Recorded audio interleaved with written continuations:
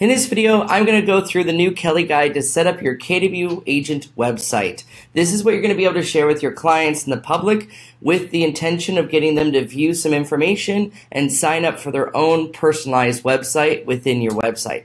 So to get started, I went to Sites.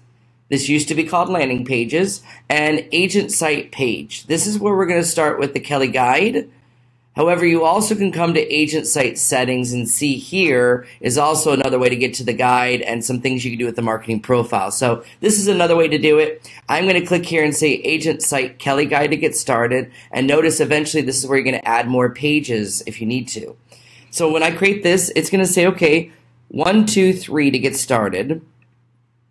First thing it wants to do is say, okay, what do you want your subdomain name to be? Because it's going to be on KW.com. Now, this will auto bring over the one that you had for Playster. This is just if you need one, you can set it up and customize what that is. There are some limitations, and if it's already taken, it will tell you. So for this example, I went ahead and said the jtmfl.kw.com, and this is going to give me the option there to claim the domain, which I did, and that was available. Now, marketing profile is the next step. And most of this should auto-fill in from your marketing profile under command. However, you're going to add some new things like your professional job title. I said real estate consultant. You're going to make sure you've got all your information here. For compliance and legal, this is a new tool they've added. And all these little eyes, by the way, have little hints. So if you need some help along the way, just hover your mouse over the little I for information. So if you have a state site that requires specific things for compliance, here's where you can put in some information and links for that and add more links. Your imagery, this is going to be your profile picture, your team logo if you have one, and any information, your office logo. These should have also come in from the marketing profile automatically. I've added my Facebook and my mobile link here. So that will be that step. So that was step one. Step two now is choosing our style and the theme that we want. So I've got here, you've got an option to KW red theme or the dark theme right now. It kind of changes the KW to be red or dark. You'll have more options in the future. For now, we're just streamlining the look so that the consumer can have the same experience on the mobile app and your website.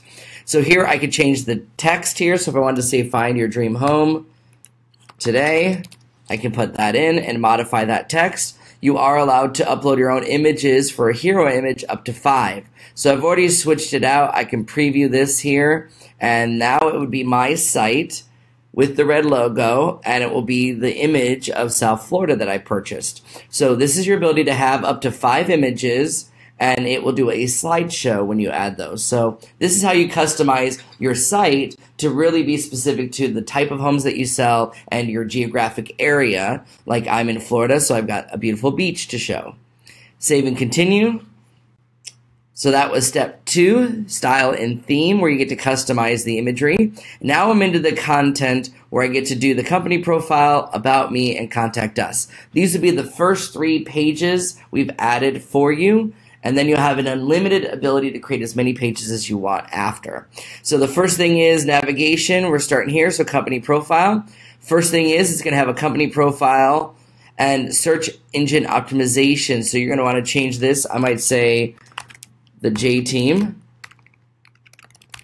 as the page title about us and keep this about us as the subdirectory. And then what is the description? The J team with Keller Williams Realty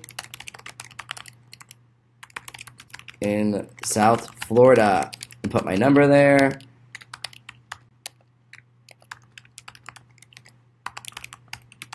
So that will be in the SEO description. The content of that site will be the company profile. I could change this to meet the J team and I can upload an image if I want. So for this example, I will just grab that image of the Florida Ocean. So here we go.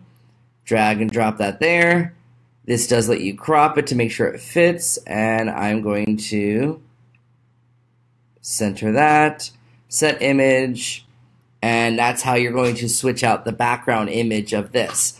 Same thing you're going to be able to do down below with the intro paragraph, right? Meet us, blah, blah, blah. I did notice there is a character limit on this, so if you start having something, this should be a short little paragraph.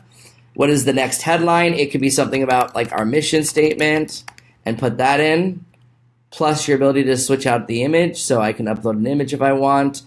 Section two, this could be like our vision, right? Or maybe our services. And then I could put that information here. We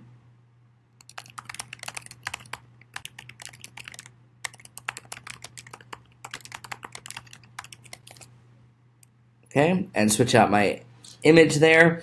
Then you've got your footer section, so this could be something that you could put in the footer, whatever you would want it to go there. So again, this is all changeable. What is your footer paragraph?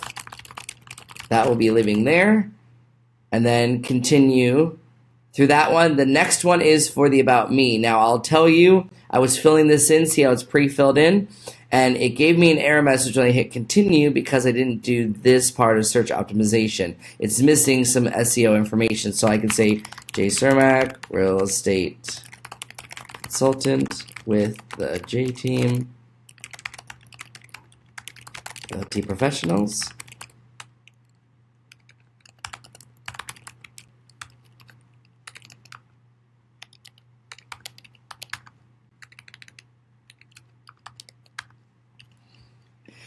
Got that there, and then I can hit continue on that one. Then last step is the contact us. Now this one's going to take me to the contact there. What is our SEO?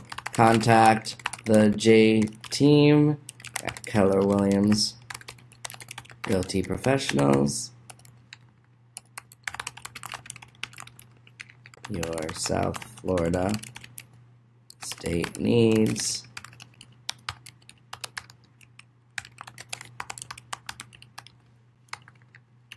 So now that will be what shows to Google. The content, it already has that stuff here. There's our site, there's our information. Make sure you add spaces here, so maybe the dash or the period. Okay, and save and continue. And just like that, I went through one, two, three of the guide. Now I'm done. You can do some stuff to learn more about it. You can go to the site settings and create more sites. So now that I'm finished, I'm going to come back here and come back to sites.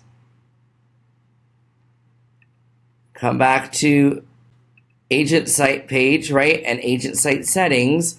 And now I've finished the Kelle guide. So now I can do add a page, add my next page if I want to, and start putting some information in here and select the site that I want to do. I can keep adding some here. I also can come to agent site page and create a new site on my agent site and create a page that way as well. So that's how we're going to get this started with your MyKW agent website inside of Command. Thanks for watching. If you enjoyed this video, give it a like. Leave me a comment below. I'd love to hear from you. And as always, follow me on KW Connect today.